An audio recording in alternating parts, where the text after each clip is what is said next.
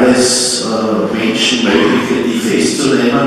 Und ich war jetzt unlängst beim Chef der Autobahninspektion Kleinholm und der hat mir erzählt, was ihm da untergekommen ist.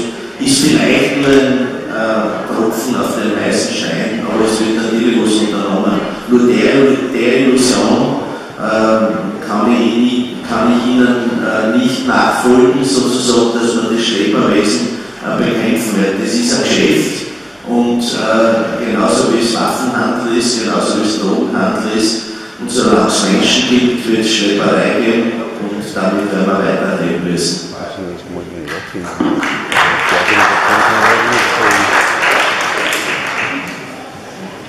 Ja, guten Abend. Äh, ich möchte mich noch einmal ganz äh, auf den Kopf beziehen und möchte äh, mich an die Worte von der Frau Ines Schletter und von Herrn Rohr anschließen.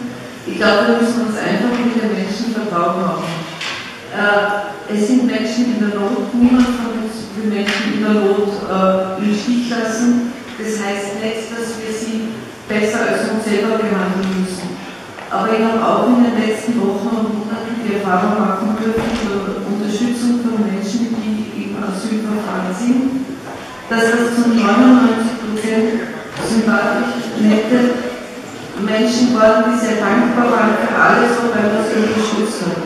Es hat auch ein oder zweimal einen Fall gegeben, wo jemand versucht hat, etwas herauszunehmen, wo ich gesagt habe, tut mir leid, aber das entspricht nicht unserer Kultur, das machen wir bei uns anders und das wurde akzeptiert. Wir sind dafür verantwortlich, dass wir den Menschen erklären, wie wir hier leben und das können wir tun, indem wir auf sie zugehen, sie unterstützen und ihnen sowohl sagen, was man daraus macht, was man nicht macht oder Hilfestellung leisten. Und das tun sehr viele Menschen schon in den Wochen des Folgens sind.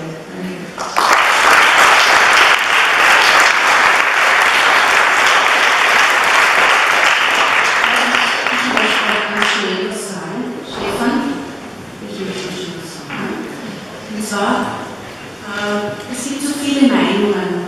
Wahrscheinlich hat jeder seine eigene Meinung. Und ich, ich möchte, für mich ist ganz wichtig, dass, dass jede Meinung wichtig ist. Und, und nur durch diese Gemeinsamkeit können wir es auch schaffen. Und zwar die einen, die schützen wollen, die auch Angst haben, die sich Sorgen machen, die sind genauso wichtig wie die anderen, die helfen. Das ergänzt sich, das ist kein Widerspruch, bitte. Und das ist unsere Chance. Und wenn wir zusammenhalten, können wir das auch schaffen. Dankeschön. Und das wir auch. Danke.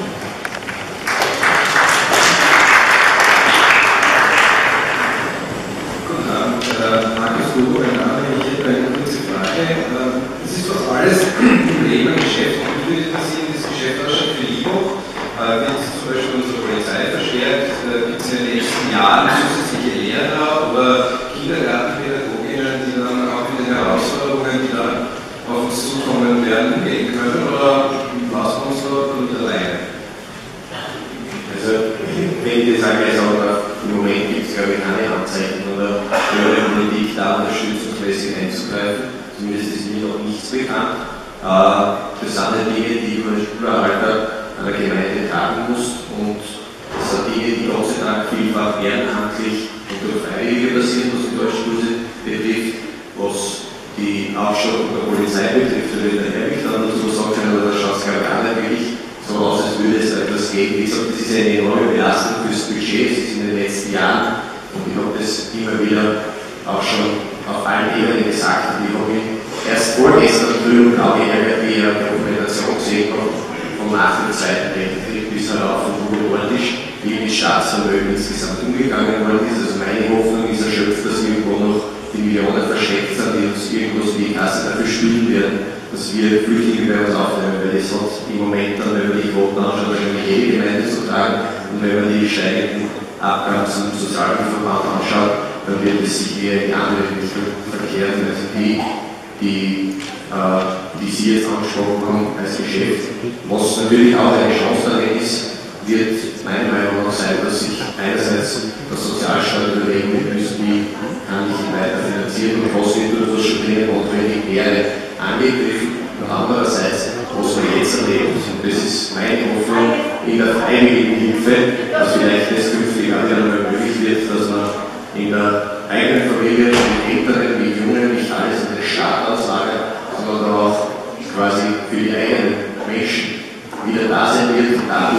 das ganze Steuer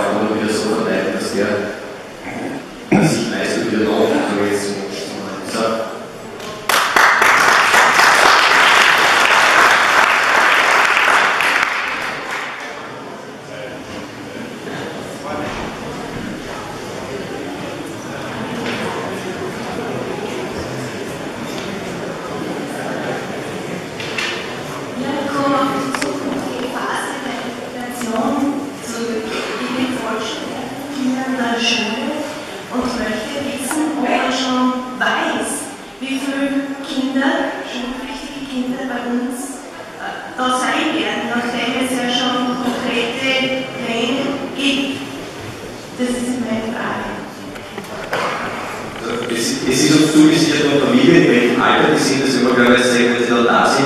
Äh, und dann müssen wir unbürokratischen Platz reagieren, wie es ist, sogar Lehrer, der Deutsch sprach, also die Sprache kann nicht beigestellt wird. Also grundsätzlich geht es darum, äh, dass die Kinder natürlich schulpflichtig sind. Und wir haben mit dem äh, Landesschulrat ausgemacht, dass wir, wenn es notwendig ist, jetzt abgesehen ist Tag auch Lehrerwochenstunden zusätzlich können. Das ist das Einzige, was ich da momentan sagen kann. Wenn die dann wissen, wie viel äh, einen Anspruch haben, die zu, uns, die zu ihnen kommen, dann wird es natürlich entsprechende Möglichkeiten geben, dass man darüber spricht. Sagbar. Ich darf Ihnen sagen, äh, wenn es ein Problem gibt, dann melden Sie sich bitte an uns es gibt die Möglichkeit, über die Frau-Landesrätin zu helfen. Wir wissen nicht, wie viele Kinder in welchem Alter zu Ihnen kommen. Das kann wir Ihnen halt nicht seriöserweise so. Aber wenn es ein Problem gibt, gibt es Möglichkeiten. Wir hatten in Dahl eine solche Situation und es ist uns innerhalb von einer Woche gelungen, eine Lösung für die Schule zu finden.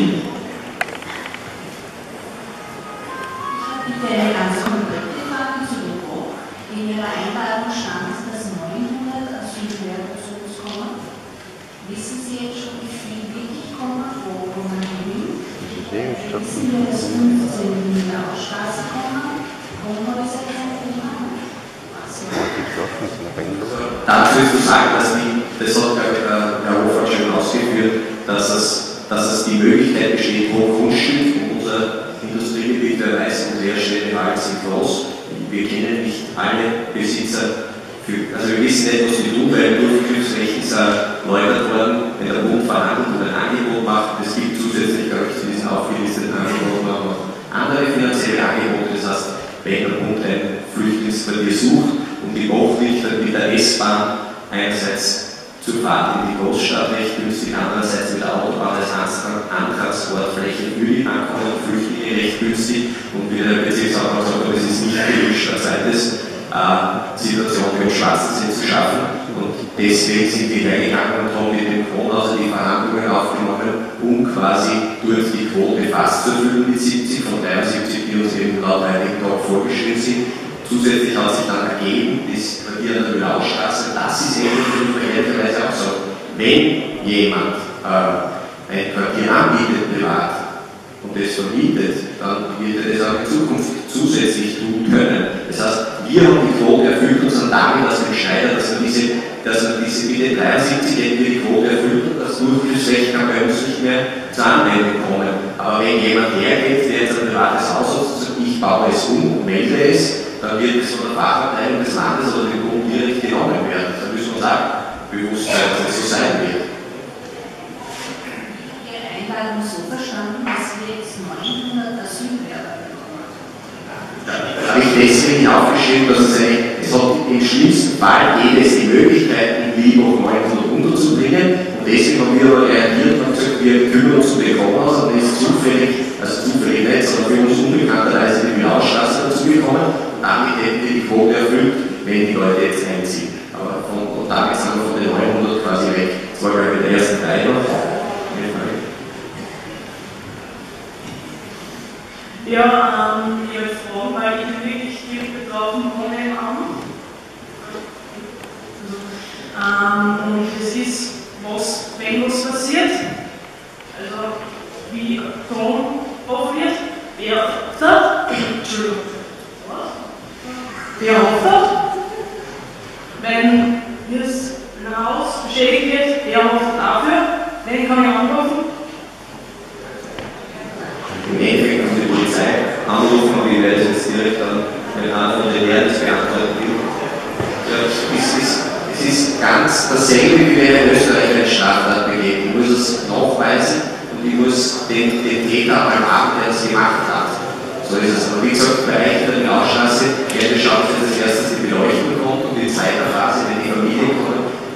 Bitte ich wirklich abzuwarten, dass wir mal schauen, wer kommt.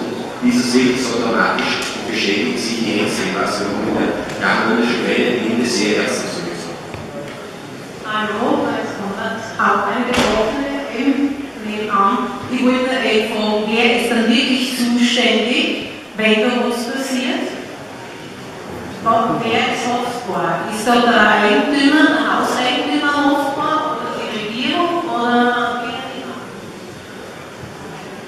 Herr Bürgermeister hat es an sich schon gesagt, wenn Sie ein Problem haben, wenden Sie sich an die Polizei. Und die Polizei will ihre Arbeit so machen, wie sie es immer macht. So gut wie möglich. Und wenn dann jemand ausgeforscht werden kann, dann ist der auch haftbar. Das, das, was, das, was mit jedem Staatsbürger passiert, wenn er eine äh, Straftat begeht, wird er so behandelt wie ein Inländer, ganz gleich. Ja, eine Bitte. Abschiebung gibt es dann automatisch keine. Das wollte ich noch dazu sagen, bevor jetzt die letzte Frage. Scheint es hat mit dem Strafausmaß zu tun. Mit das Strafausmaß, glaube ich, eine gewisse, das das Gericht verurteilt zu 24 Monaten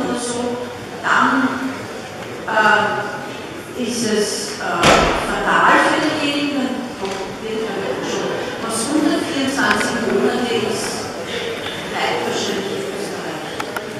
Ich hätte noch eine Bitte an hier anwesenden Politiker, und zwar, also man sagt, der Bund schreibt vor, ein Lehrer sitzt als unsere Volksvertreter da und man weiß, welche Macht das von der Menge ausgeht. Und ihr seid schon sehr wohl dazu aufgefordert und verpflichtet, dass ihr hinaufsagt, was wirklich los ist und dass die Sorge der Bevölkerung weitergeht. Danke. Also dazu möchte ich jetzt ganz direkt antworten. Ich glaube, der Bezirksrat wird es dann bestätigen, dass ich das in jeder Sitzung, in die ich hinauftreten darf, das ist halt meistens eine höhere Bezirksebene, diesen, diese Wortmeldungen weitergeben. Und vor kurzem auch eine, eine Gesprächsrunde gegeben mit jemandem vom Kabinett der Innenministerin. Ich habe dort auch dezidiert und gebeten, genau das, was mir sagt, wortwörtlich, ich weiß nicht, was passiert, der Frau Minister auszurichten, weil ich bin mir sehr wohl bewusst, dass das ganz selten passiert. Und das ist eines der Grundprobleme bei uns in der Republik. Ich habe das heuer am Gemeindetag erlebt, wenn du dort hinausfährst und den ganzen Nachmittag stehst, das war jetzt in diesem Fall die Flüchtlinge gegangen, und den ganzen Nachmittag mit Leuten zusammenstehst, die schimpfen, weil beim Finanzausgleich muss passt für die Gemeinden und wenn der Finanzminister kommt, dann werden es ihm erzählen. Und dann kommt am Nachmittag der Herr Finanzminister zu spät zu dieser Veranstaltung und auf einmal muss die Lehrerin fotografieren. Und keiner, der dort früher mit mir gemeinsam die erste Lage diskutiert hat und seinen Mund aufmacht, dass ich traue, das zu sagen. Und ihr könnt sich sicher sein, dass ich jeden, den ich und ich habe im Herbst wie der erste Run quasi die Südscheiber war, äh, ein direktes Gespräch mit Staatssekretär Mara gehabt und ich habe dort auch, ja weiter hinten gesessen, so wie ich jetzt so sitzen, habe dort dreimal nachgefragt, welche Antwort ich bekommen habe, die ich erhofft hätte. Und dort war es sehr wohl so, dass ich auch gefragt habe, wir wissen seit einem halben Jahr, und dann das heißt, ja, wir wissen seit einem halben Jahr, warum gibt es keine Flugblätter in mehreren Sprachen, die genau das, was die Schlepper den Flüchtlingen versprechen, quasi klarstellen, damit die gar nicht ausgehen Ministerrat abgelehnt worden. Und dann kann man sich da seine Meinung bilden, warum passiert sich das auch. Ich möchte jetzt nicht hochpolitisieren, aber das sind für die Frage, für die noch Wer hat noch eine? Darf ich auch noch kurz äh, zu dieser Frage was sagen? Äh, der Witzig sagt und ich würde das unterstreichen, wir sind keine Politiker, aber, aber, aber,